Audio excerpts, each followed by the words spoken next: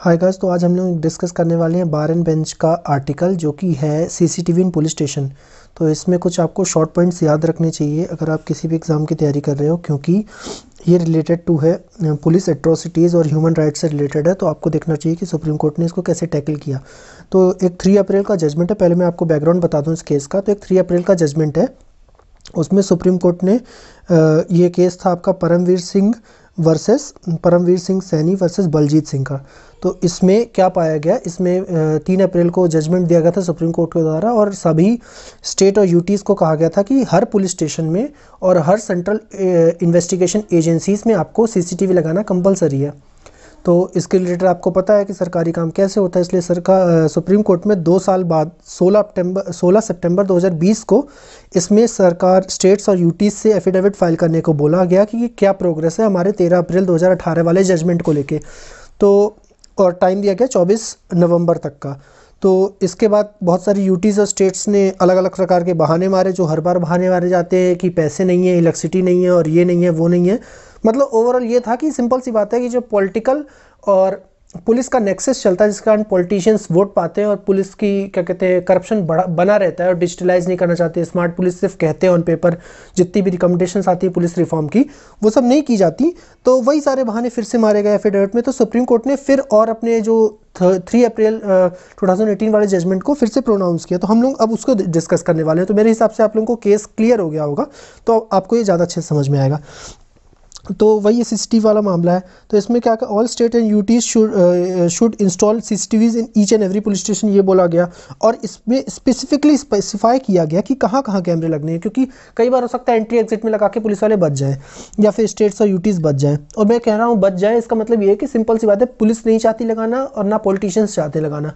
Otherwise कोई भी काम होता है, जैसे आप देख सकते हो एंटी डिफेक्शन लॉ था, उसमें पॉलिटिकल पार्टीज़ की विल थी तो इसके कारण उन्होंने काम किया और क्या हुआ कि तुरंत के तुरंत एंटी डिफेक्शन लॉ आ जाता है उसके बाद, क्योंकि उससे पॉलिटिशियंस को दिक्कत हो रही थी, लेकिन यहाँ पर क्या हो रहा है, यहाँ से उनको और ज़्यादा दिक्कत होगी, उनको क्या दिक्कत होगी कि उसके बाद वो उनका फ़ोन कॉल नहीं चलेगा, उनकी वो जुगाड़ नहीं चलेगी जो अभी तक चलती आ रही है।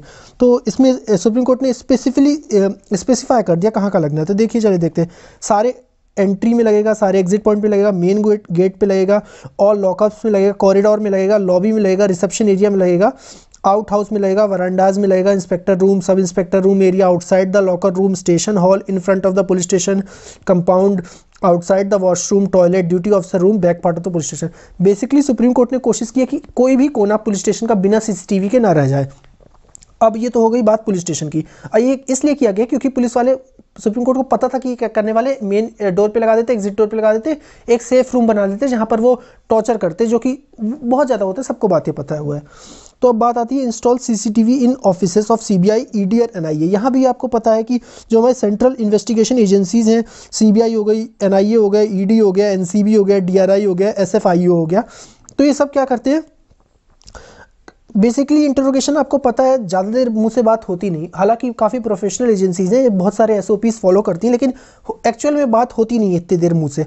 बहुत सारी जो आपने थर्ड डिग्री सुन रखा हो ऐसे वैसे थर्ड डिग्री कुछ होता नहीं है लेकिन फिर भी ए, कुछ ना कुछ तो टॉर्चर टाइप से करते हैं। May be it's could be mental torture और एनीथिंग एल्स तो ह्यूमन राइट्स का क्लियर कट वायलेशन होता है। अब उसमें सीसीटीवी जो लगे उसमें नाइट विजन और ऑडियो वीडियो वीडियो के लिए अलग से कह रखा है कि कंपलसरी है कि उसमें नाइट विजन होना चाहिए ऑडियो होना चाहिए वीडियो जी। आपको मैं यूपी का कोई एक केस है, मुझे एक्चुअल याद नहीं कौन सा पुलिस स्टेशन था, लेकिन वहाँ पर किसी पुलिस स्टेशन में सीसीटीवी लगा था तो किसी ने कोई हाईकोर्ट गया था कि उसे सीसीटीवी की कॉपी चाहिए। तो जब वो सीसीटीवी की कॉपी हाईकोर्ट ने मंगाई तो उसमें क्या था कि पुलिस वाले ने अपनी टी शर्ट टगा दी थी सीसीटीवी के सामने। तो ऐसे सारे केसेस होते हैं तो इस सब के कारण ये साफ़ साफ़ पता चलता है कि पुलिस वाले या फिर अथॉरिटीज़ इसे ढंग से करना नहीं चाहती। तो ये तो बात हो गई कि उसमें ऑडियो वीडियो और नाइट विज़न होना चाहिए। साथ ही साथ सीसीटीवी का जो डेटा होगा वो 18 महीने तक स्टोर होगा। किसमें आपका डीवीआर में होगा। आपने नॉर्मली घरों पे देखा होगा डीवीआर में होगा या एन एनवीआर में होगा। एनवीआर क्या होता है? नेटवर्क पे स्टोर होता है। क्लाउड स्टोरेज आपके गूगल पे हो सकता है। अमेजोन क्लाउड स्टोरेज किसी का भी ले सकते हो। लेकिन मिनिमम अठारह मंथ की रिक्वायरमेंट रखनी है और ये सभी स्टेट और यूटी के लिए कंपलसरी है। अगर किसी जगह पे ऐसी व्यवस्था नहीं है या फिर ऐसी कोई कंपनी नहीं है इंडिया में जो आपको 18 मंथ्स तक का स्टोरेज दे तो ऐसी व्यवस्था बनाने के लिए सरकार को मोटिवेट करना है, लेकिन कम से कम वन था वन ईयर का डेटा आपको रखना है। अब इसके बाद क्या करना है, ये डेटा तो हो गया। इसके बाद आपको सेटअप करना है ह्यूमन राइट कोड्स तो ह्यूमन राइट कोड किसके? Section thirty of protection of human right act 1993 के अंडर करना है आपको स्टेब्लिश और ये बस इतना है कि इस एक्ट में इसे डिस्क्रिप्शन ऑफ़ स्टेट्स में छोड़ दिया गया कि इसे करना है कि नहीं करना। इसे वो नहीं किया गया है कि इसे करना ही है। अब इसमें क्या होता है कि ये कहाँ काम आएगा आपका सीसीटीवी वाला मामला? तो ये आपका कहाँ काम आएगा? Victim of custodial torture deaths has right to CCTV photos तो क्या होगा जब भी किसी को लगेगा कि उसे टॉर्चर किया गया या कुछ किया गया लॉकअप वगैरह पर तो उसकी फैमिली मेंबर्स या फिर उसका कोई भी, जो उसका शुभ चिंतक हो, वो ये जो मैंने अभी आपको बताया ह्यूमन राइट्स कोर्ट है, वहाँ पर जाके ये आपकी फ़ोटेज ले सकता है। और ये फ़ोटो 18 महीने तक रहेगी तो उस बीच आप कोई भी ले सकता है। Police station to erect posters और दूसरी बात क्या होती है, जो दूसरी कंट्रीज़ में होता है, वहाँ पर जब भी कोई अरेस्ट होता है तो उसे Miranda warning you have a right to remain silent anything you will say और कैन और could be use against you इस टाइप से कुछ बताया जाता है कि आपके पास राइट है, और you you have to you you could ask for attorney and if you can not afford it the state will provide ऐसे करके मेडोरना वार्निंग आपको मैं एक वीडियो मेडोरना वार्निंग पे बना दूँगा, बताया जाता है। लेकिन इंडिया में ऐसा कुछ भी नहीं है जो अरेस्टेड पर्सन उसके भी कुछ राइट्स होते हैं जो कि उसे नहीं बताए जाते। कुछ लोगों को पता होता है मैक्सिमम लोगों को नहीं पता होता, खासतौर पर डिप्राइव क्लासेस को नहीं पता होते। तो इसके बारे में भी लिख रखा है कि पुलिस स्टेशन को वहाँ पर पोस्टर्स लगाने हैं बाकायदा ये बताते हो कि हर जगह सीसीटीवी लगाए। अगर आपको कोई भी दिक्कत होती है तो आप स्टेट या नेशनल ह्यूमन राइट कमीशन में जा सकते हो ह्यूमन राइट कोर्ट में जा सकते हो एस से बात करके। उस चीज़ का फ़ोटोज़ लेके, उससे क्या कहते हैं, अपनी बात प्रूफ कर सकते हैं।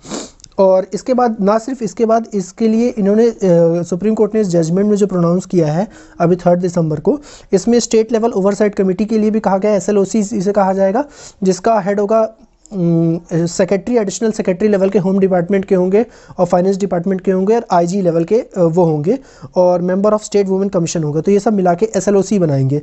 इसके बाद डीएलओसी यानी डिस्ट्रिक्ट लेवल ओवरसाइट कमेटी के लिए बोला गया है। तो इसमें क्या होगा डिविजनल कमिश्नर होंगे, रीजनल कमिश्नर होंगे रिवेन्यू के लिए फाइनेंस के लिए देखने के लिए डिस्ट्रिक्ट मजिस्ट्रेट होगा उस डिस्ट्रिक्ट के और एसपी होंगे उस डिस्ट्रिक्ट के। मेयर भी हो सकते हैं उस म्यूनसिपालिटी के और head of the zila panchayat in rural areas तो बेसिकली मैक्सिमम बड़े बड़े लोगों को लेकर ये एस और डी की बात की गई है।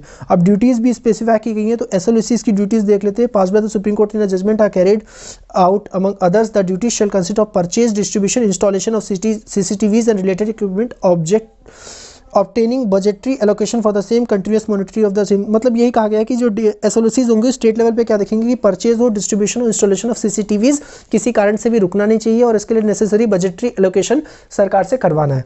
यही काम आपकी डी करेंगी, किस लेवल पर करेंगी? या आपकी डी करेंगी डिस्ट्रिक्ट लेवल पर करेंगी। और जो भी आपकी स्टेटस होगी, उसे लगातार अपडेट करना है। फिर the duty and responsibilities of इसमें एसएचओ की ड्यूटी होगी कि प्रॉपर वर्किंग हो रही है और कुछ भी अगर फॉल्ट पाया जाता है तो उसे तुरंत के तुरंत डी को या फिर डी uh, को uh, बताया जाएगा और डी एल को उसे वो करेंगे और उसे तुरंत के तुरंत रेक्टिफाई किया जाएगा। इमीडिएट रिफ़र और अगर जब तक रिपेयर नहीं हो जाता तब तक उस वहाँ पर क्या क्या फंक्शनिंग हुई प्रॉपरली उसकी मेंटेनिंग होगी। अब इसमें एलोकेशन ऑफ़ फंड्स के लिए कह दिया गया है कि फाइनेंस डिपार्टमेंट जो भी स्टेट्स का और यूटी का होगा वो नेसेसरी फाइनेंस को क्या कहते हैं अरेंज करें और इसको प्रोसेस को पूरा करें। तो ये था जजमेंट जो कि अभी दिया था सुप्रीम कोर्ट ने तो मैंने आपको डिस्कस किया। ये आर्टिकल मैंने बार एंड बेंच से लिया है तो copy right remains with them I no intent to infringe their copy right so that's all for today and देखते हैं नेक्स्ट वीडियो किस पे होती है।